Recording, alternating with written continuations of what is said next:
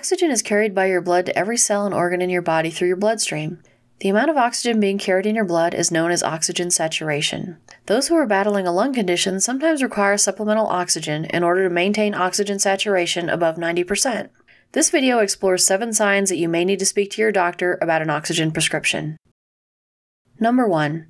You feel short of breath when walking. It's normal to feel short of breath when walking uphill or walking quickly over a long distance.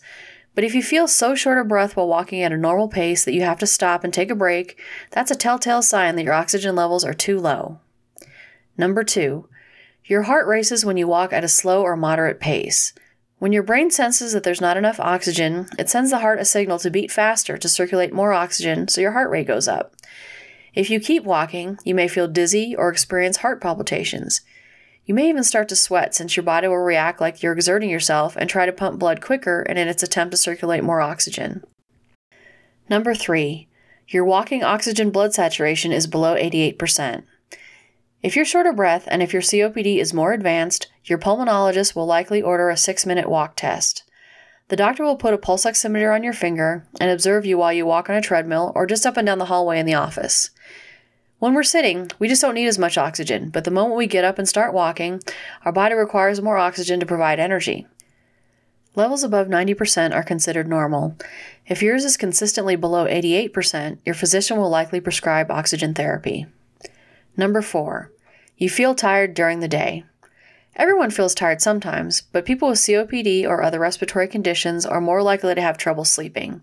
Symptoms like coughing and wheezing can definitely disrupt your sleep, but low oxygen levels overnight can also impact sleep quality and leave you feeling tired during the day.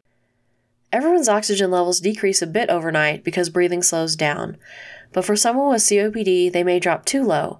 In this case, your doctor may prescribe oxygen therapy for use overnight to help you get better rest. Number five, your fingers or lips look blue. Low oxygen levels can sometimes cause the fingers or lips to take on a blue tint, a condition known as cyanosis. This is usually more noticeable in more extreme cases when someone's oxygen levels are drastically low. It's not that your hands aren't getting any blood flow, rather that the blood is not full of oxygen, which gives us its red color. If you notice your extremities turning blue, seek medical attention immediately. Number 6. Edema or swelling of the feet and ankles. Swollen feet after a long walk in ill fitting shoes is one thing, but if there's no obvious cause for puffy feet or ankles, check in with your doctor.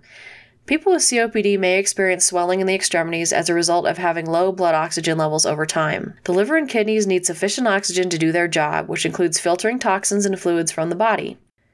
When they aren't getting enough oxygen, they can't function properly, which may result in swelling of the extremities from fluid buildup. Number 7. Other treatments aren't helping. The effects of supplemental oxygen are immediate and have a positive impact on the heart, lungs, and brain.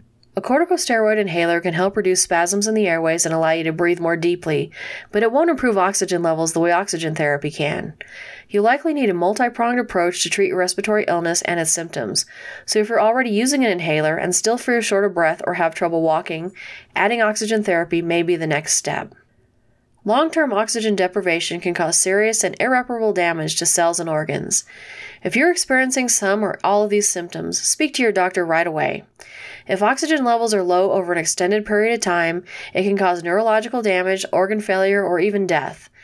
If your doctor has prescribed supplemental oxygen, don't delay its use.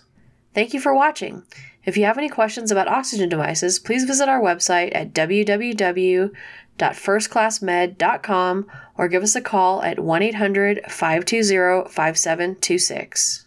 Be sure to check out the First Class Medical YouTube channel and Facebook page videos for more valuable content. Please subscribe so you don't miss any new videos.